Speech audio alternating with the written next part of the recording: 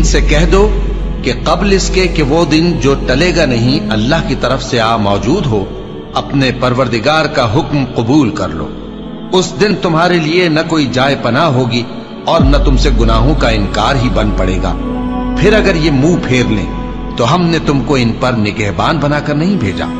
तुम्हारा काम तो सिर्फ़ अहकाम का पहुँचा देना है।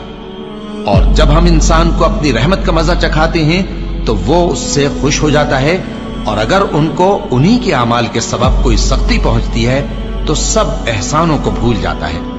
बेशक इंसान बड़ा नाशुकरा है।